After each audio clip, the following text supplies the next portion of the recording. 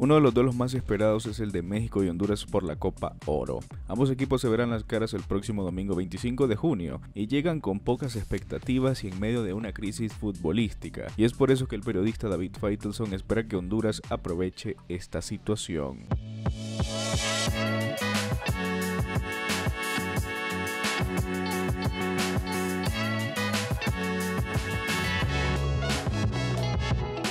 Es raro que el polémico periodista David Faitelson hable de ventajas mencionando a Honduras previo a un duelo ante México, pero la realidad es que el equipo está pasando por un momento complicado a pocos días de jugarse el torneo, pues despidieron a su cuerpo técnico por haber perdido en la Liga de Naciones, parte que en lo futbolístico el equipo no supera ni siquiera a Panamá. Esto ha generado mucho descontento tanto en la afición como en la prensa mexicana, por lo que han ejercido mucha presión y esto provocó el despido de Diego Coca.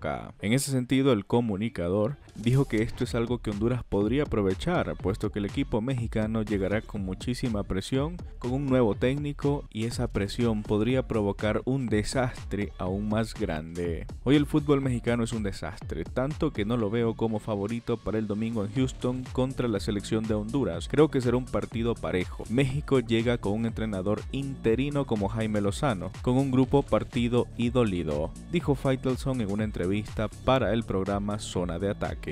Asimismo, el comunicador aconsejó a Honduras que deben aprovechar este pésimo momento que atraviesa el Tri para sacar un resultado positivo en esta Copa Oro, pues dependerá mucho lo que pueda hacer Honduras en los siguientes partidos dependiendo del resultado que saque ante México.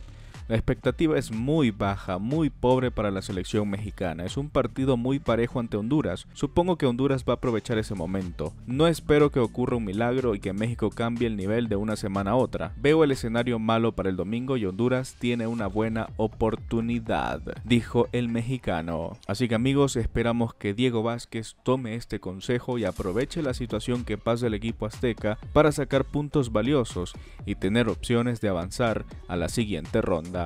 Pero opinen amigos, ¿creen que Honduras podrá vencer a México? Déjenmelo saber en la caja de comentarios, suscríbanse al canal y nos vemos en un próximo video.